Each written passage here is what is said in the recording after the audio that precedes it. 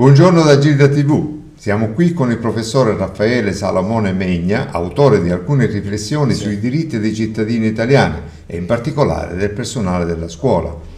Buongiorno professore, lei ha scritto un articolo dal titolo Auto da Fe. Può chiarire anche agli amici di Gilda TV il suo pensiero? Sì, sembrerà strano, ma ancora oggi dobbiamo fare un'auto da fe, ossia un atto di fede. Eh, in buona sostanza a cosa mi riferisco?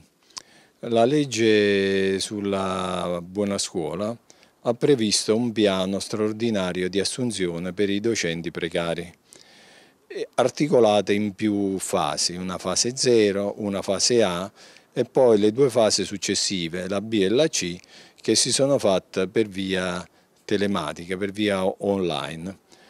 Ora le fasi 0 e le fasi A si sono tenute diciamo, in maniera ordinaria presso gli uffici scolastici provinciali e regionali, per cui eh, c'è stato un controllo oh, piuttosto accurato di tutti gli interessati che erano presenti alle operazioni, tra cui anche i vari sindacati.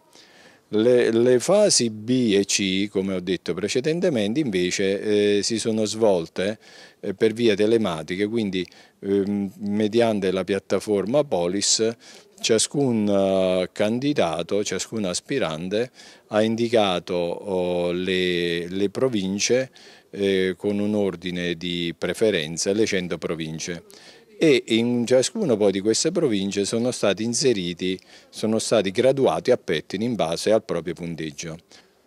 Per quanto riguarda uh, quindi le fasi B e C, il, i candidati hanno ricevuto risposta sulla propria casella elettronica, quindi eh, se sono stati o meno assunti. Ora, uh, qual è il problema di tutta questa operazione? È che in realtà nessuno dei candidati e neanche le organizzazioni sindacali posseggono tutti i dati, ovvero sia non, non, non, si conoscono le preferenze che sono state espresse dagli, dagli aspiranti. Allora questo rende di fatto impossibile alcun tipo di controllo mh, eh, nei confronti dell'amministrazione e quindi ci si chiede di fare un vero e proprio atto di fede sull'infallibilità del MIUR e del suo centro elettronico di calcolo cosa che è difficile fare perché sovente il MIUR ha sbagliato in maniera anche clamorosa. Sull'algoritmo eh, si è già occupata Gilda TV, ho, ho seguito alcune delle vostre trasmissioni.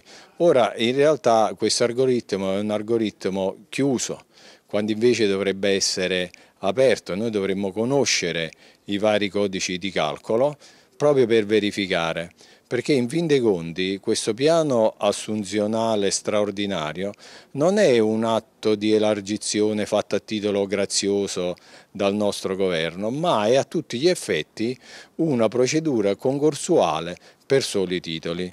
Quindi affinché tutti, ciascuno possa tutelare il proprio interesse legittimo, ma anche in forza di quanto dice l'articolo, credo 192 della nostra Carta Costituzionale, per cui tutta l'attività dell'amministrazione pubblica deve essere imperniata di efficienza, efficacia ed imparzialità, noi chiediamo ancora una volta di conoscere al Ministero i dati e di fornirci il codice di calcolo che hanno utilizzato per individuare i vincitori del, della fase B.